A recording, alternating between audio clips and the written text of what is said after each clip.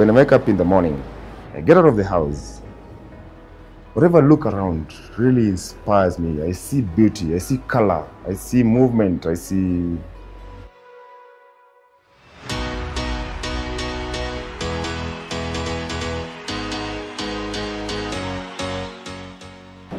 My name is Steve Nyagah Hiram. The art that I'm doing right now really started from my dad's side.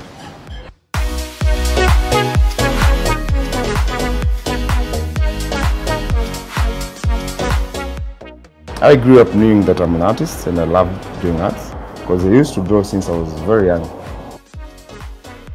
I drew Luanda Magere. I can remember it, it went for the competition and it became one of the best drawings.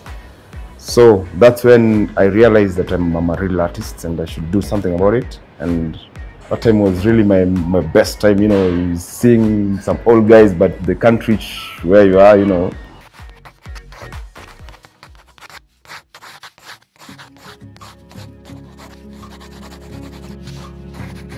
When I'm doing my, my artworks, I start by drawings. I start doing sketches. I do my sketches and make sure that my sketch is perfect before I apply any color on it.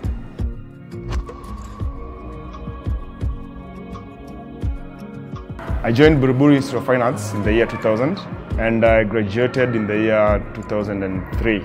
So that's where I can say my journey of art took over and I started now working.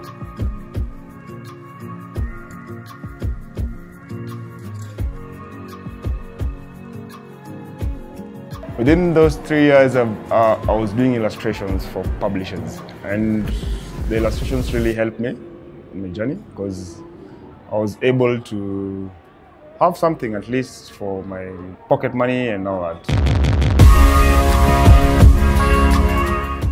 Lucky enough, when I moved out of college, I was able to get a job, United Nations. I did for them some illustrations, some books. I would say my inspiration came from Norman Rockwell. Since Safaricom uh, picked me as one of the best artists, that really motivated me first of all and uh, and I was really happy to know that I'm I'm one of the best artists in Kenya since we were picked very few artists. Safaricom has really played a very big role in, in, in my career right now because they've put me in in, uh, in limelight. People know me right now and I'm very happy about that. And um, they have really advertised me in different ways. We've gone to different occasions. It has given me a big step in my career because now I have even more clients. The art industry in Kenya right now is, is uh, say it's growing. It's, I would say it's growing.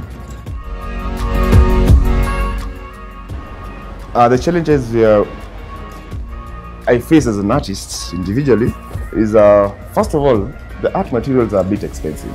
So before you put up everything together so that you can come up with an art piece, first of all, it will cost you a bit. The second challenge that I would say is the market. Getting the marketplace, sometimes it's not easy to sell your artwork unless you're known. So I believe most of the artists are having a challenge of selling their artworks because if you don't sell your art, it becomes a bit difficult for you to operate. The young guys who are coming up in the art industry, I will advise them, keep on keeping on, just work, just draw. Whatever you're doing, do it. The more, uh, the more you do it, the more you improve. And the market needs your perfection. My name is Steve Nyagah Hiram, and I'm putting Kenya on canvas.